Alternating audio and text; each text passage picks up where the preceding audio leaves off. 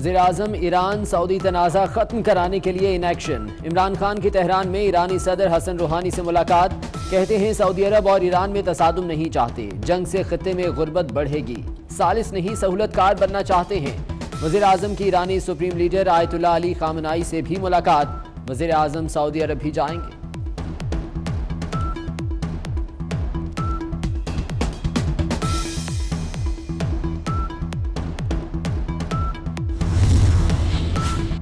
ایرانی صدر حسن روحانی کا پاکستان کی امن کوششوں کا خیر مقدم۔ کہتے ہیں، عمران خان نے خلیج کی بہتری کے نکات بتائے ہیں۔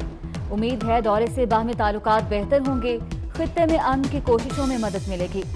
یمن میں جنگ بند اور عوام کی مدد کی جائے، امریکہ ایران پر پابندیاں اٹھائے۔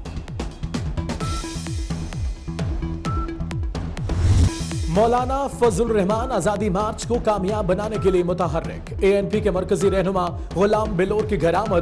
آزادی مارچ میں شرکت کی باضابطہ دعوت۔ مولانا سے نون لیگ کے وقت کی بھی ملاقات۔ ادھر جے یو آئی کی آزادی مارچ کی ریہرسل، پشاور میں رضاکاروں کی پریڈ۔ رضاکار قومی اور پارٹی پرچموں کے ساتھ ڈنڈوں سے بھی لیس۔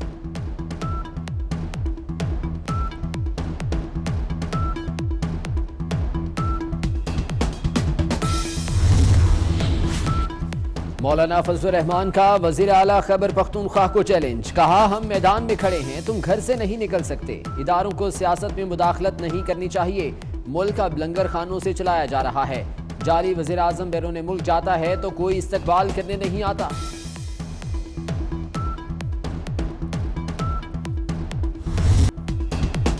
شوکت یوسف زئی نے آزادی مارچ کے خلاف اپنی حکمت عملی بتا دی۔ بولے مولانا فضل الرحمان نے کوئی غیر قانونی کام کیا تو ایکشن ہوگا۔ جتھے بنانے کی اجازت نہیں دی جائے گی، مولانا فضل الرحمان کو مایوسی کا سامنا کرنا پڑے گا۔ فردوس عاشق ادان کی مخالفین پر طنز کے نشتر۔ کہا، مولانا فضل الرحمان مذہب کارڈ استعمال کرنا چاہتے ہیں۔ مولانا کو ملک نہیں، حلوے کی فکر ہے۔ ملک میں مہنگائی کے ذمہ دار سابق حکمران ہیں۔ معیشت مضبوط کر کے اداروں میں ریفارمز لائیں گے۔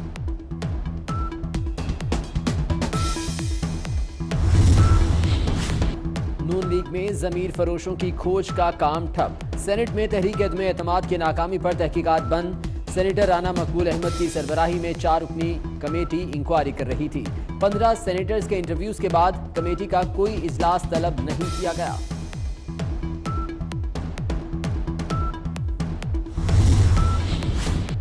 ڈینگی کے وار ملک بھر میں پچاس ہزار افراد شکار۔ پروگرام 24 فور نیوز اسپیشل میں بڑا انکشاف۔ جڑواں شہروں میں ہلاکتوں کی تعداد باون ہو چکی۔ ڈینگی سے صرف دس ہلاکتیں ہوئی C E O health doctor Sohail صورتحال سے لائق۔ اور اس کے علاوہ جو اموات ہیں میں وہ بھی بتا دیتی ہوں آپ کو کو- 52 آن ریکارڈ ہے۔ لوگ جو موت کے منہ میں گئے ہیں پلان ہونے کے باوجود۔ راول پنڈی کا جو آن ریکرڈ ہے وہ ہمارے ٹین کیسز ہیں۔ راول پنڈی کا جو آن ریکرڈ ہے وہ ہمارے ٹین کیسز ستر دن گزر گئے۔ کشمیر میں کرفیو ہے۔ اب وقت آیا ہے کہ قدم لے کر اقدام کر کے اس بال کو ہٹانے کا اس برلن کی دیوار کو گرانے کا اللہ اکبر پر اعتماد کے ساتھ کاروائی کرے۔ پاکستان کی بقا کی لڑائی سری نگر میں لڑنا ہوگی۔ امیر جماعت اسلامی سراج الحق کہتے ہیں اس دن کا انتظار نہ کریں جب بھارتی فوج مظفر آباد آ جائے۔ مودی اور اس کے یاروں کی ہر سازش ناکام بنا دیں گے۔ حیدرآباد میں کشمیر مارچ سے خطاب۔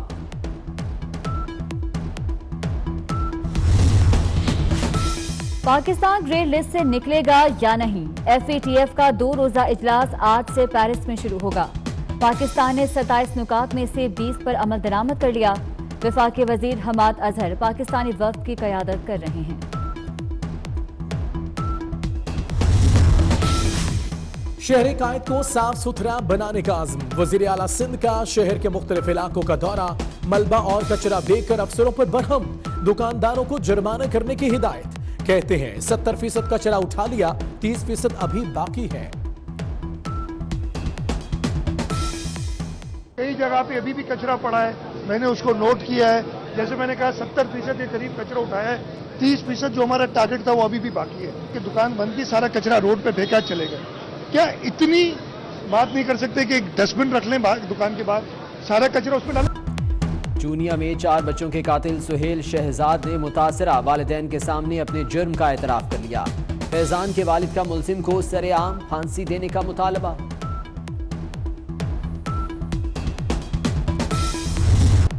برطانوی شاہی جوڑا کل تاریخی دورے پر پاکستان پہنچے گا۔ شہزادہ ولیم اور ان کی اہلیہ کا نور خان ایئرویز پر شاندار استقبال کیا جائے گا۔ اس سے پہلے ملکہ الیزبت شہزادہ چارلز اور لیڈی ڈیانا بھی پاکستان آ چکی ہیں۔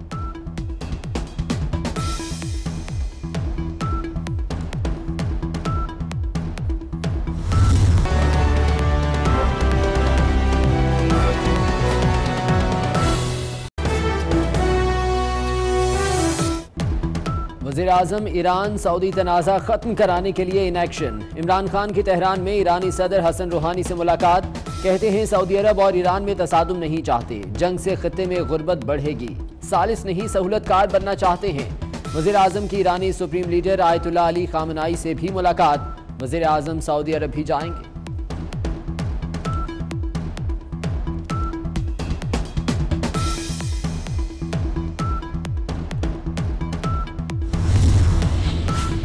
ایرانی صدر حسن روحانی کا پاکستان کی امن کوششوں کا خیل مقدم۔ کہتے ہیں، عمران خان نے خلیج کی بہتری کے نکات بتائے ہیں۔ امید ہے دورے سے باہمی تعلقات بہتر ہوں گے، خطے میں امن کی کوششوں میں مدد ملے گی۔ یمن میں جنگ بند اور عوام کی مدد کی جائے، امریکہ ایران پر پابندیاں اٹھائے۔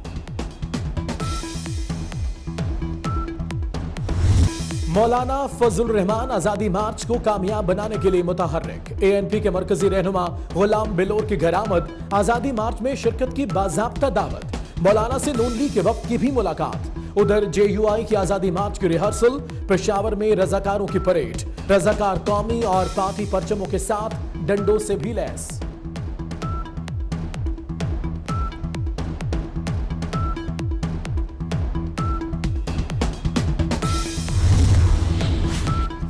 مولانا فضل الرحمان کا وزیر اعلیٰ خبر پختونخوا کو چیلنج۔ کہا، ہم میدان میں کھڑے ہیں، تم گھر سے نہیں نکل سکتے۔ اداروں کو سیاست میں مداخلت نہیں کرنی چاہیے۔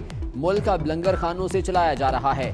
جاری وزیر اعظم بیرون ملک جاتا ہے تو کوئی استقبال کرنے نہیں آتا۔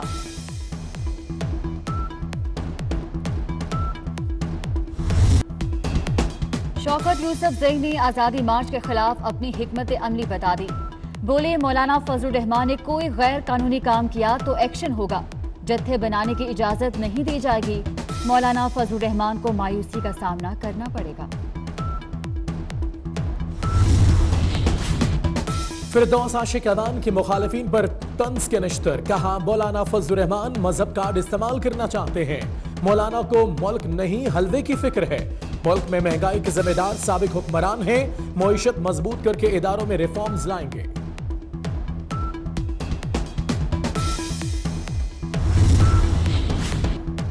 تحریک میں ضمیر فروشوں کی کھوج کا کام ٹھپ۔ سینٹ میں تحریک عدم اعتماد کی ناکامی پر تحقیقات بند۔ سینیٹر رانا مقبول احمد کی سربراہی میں چار اپنی کمیٹی انکوائری کر رہی تھی۔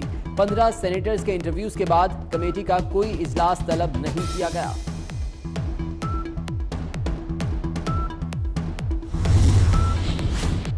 ڈینگی کے وار ملک بھر میں پچاس ہزار افراد شکار۔ پروگرام 24 نیوز سپیشل میں بڑا انکشاف۔ جڑواں شہروں میں ہلاکتوں کی تعداد باون ہو چکی۔ ڈینگے سے صرف دس ہلاکتیں ہوئیں۔ C E O health doctor Sohail صورتحال سے لائے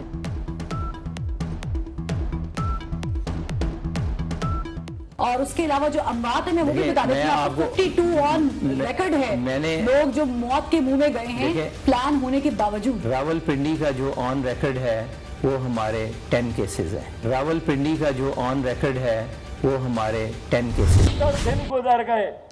کشمیر میں کرپیو ہے۔ اب وقت آیا ہے کہ قدم لے کر اقدام کر کے اس بال کو ہٹانے کا اس برلن کی دیوار کو گرانے کا اللہ اکبر پر اعتماد کے ساتھ کاروائی کرے۔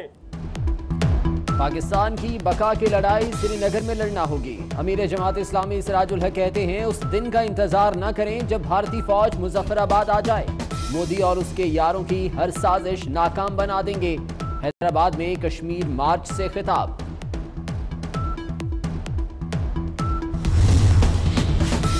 پاکستان گرے لسٹ سے نکلے گا یا نہیں؟ ایف اے ٹی ایف کا دو روزہ اجلاس آج سے پیرس میں شروع ہوگا۔ پاکستان نے ستائیس نکات